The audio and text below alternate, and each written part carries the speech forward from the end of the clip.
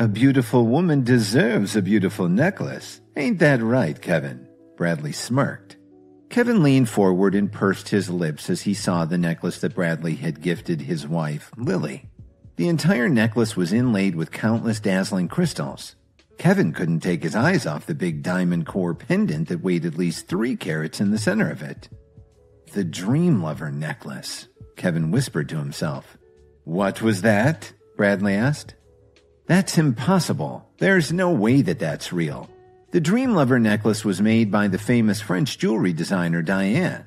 It was made up of 180 crystals in a 3 carat diamond. There are only 10 versions of the necklace in the world. That has to be a knockoff. It's not a knockoff, it's a top of the line copy of one.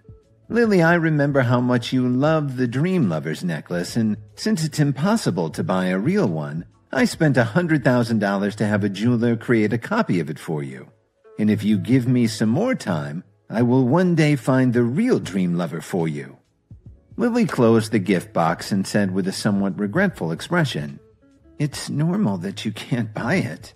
After all, there are only 10 real dream lovers in the world. Two years ago, I heard that in an auction, a dream lover was sold at a high price of $2.8 million.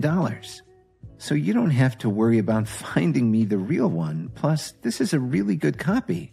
I love it. Thank you. When he heard Lily's words, Bradley's heart stopped as he thought to himself, 2.8 million? My entire net worth was only around 3 million. There is no way that I'll ever be able to buy it for her. With an awkward smile, Bradley replied, Sounds like this dream lover is very popular. Kevin reached forward. Here, Lily, why don't you let me bring the necklace home for you? After all, I'm your husband. It's the least I can do. Thank you, Kevin. That would be really helpful. Kevin reached for the necklace, but as soon as his hand grasped it, he felt it accidentally slip through his fingers onto the ground. With a fake shocked look on his face, Bradley gasped, Kevin, how could you? You threw it on the ground on purpose. That necklace was for Lily. Why would you do that to her? At that moment, Kevin turned around to see several of Lily's co-workers crowding around them. One woman whispered to the other, I know. I don't know why she married him. She could do so much better. Lily took a deep breath. I'm sure that it was an accident, wasn't it, Kevin? Feeling his face turn red in anger, Kevin snapped. I'm sorry that it happened. Lily, you deserve the real thing, not just some fake copy of it from a douche like Bradley. Seeing the employees gossiping to one another, Lily stepped forward and whispered into Kevin's ear. Kevin, please apologize to Bradley. We're at my job, and I have a lot going on today. Even if it was an accident, you need to apologize to Bradley because this is my work. It's important to me. I can't have drama like this happen, especially not this week. Kevin slowly nodded and turned to Bradley. I'm sorry that I dropped the necklace that you got from my wife. Thank you, Lily mouthed to Kevin. Turning to both Kevin and Bradley, Lily continued. I'm already running so late. I have to go. But thank you both. I'll talk to you soon. After Lily got into the elevator, Kevin bent down, picked the necklace up, and tossed it to Bradley. In shock, Bradley reached for the necklace but missed. This time, when it fell, a fake diamond popped out onto the ground. Kevin turned around and began walking towards his motorbike as he heard Bradley's angry roar from behind him. Stop! I know you can hear me. I command you to stop. Bradley screamed as he chased Kevin.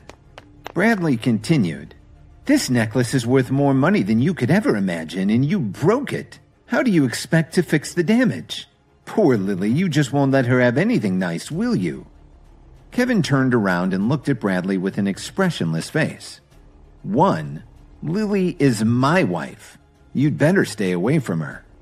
Kevin calmly climbed onto his motorbike and continued. Two, it's my job to give gifts to my wife. So tonight, I'll give her the real dream lover. She deserves more than a knockoff, and she deserves it from her husband, not you. After a pause, Kevin looked at Bradley and smirked.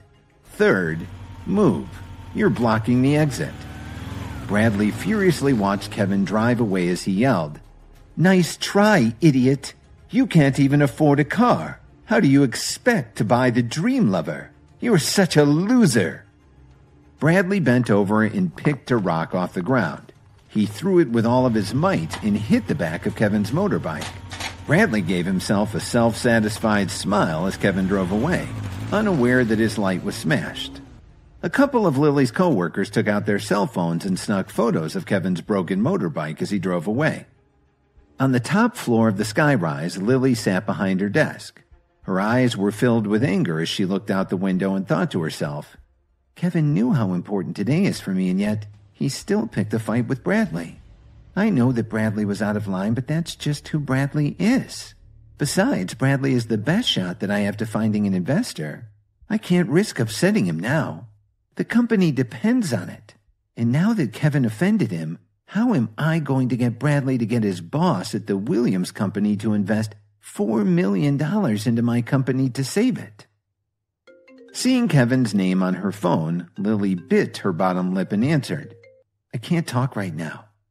Lily, I'm sorry about earlier. I know how stressed you are, and I shouldn't have taken Bradley's bait. It's just that that guy gets under my skin. Lily shook her head. That guy is the best chance that I have for saving my company. He directly reports to the Williams family, and I don't know if you know who they are, but they are the richest family in Chicago. They could save my company. Kevin laughed to himself.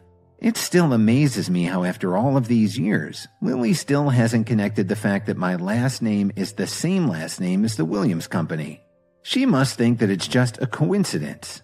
Well, she is right about one thing. Even though the Williams family is secretly bankrupt, there is a Williams family member who is now officially the richest man in Chicago. And I'm going to save her company.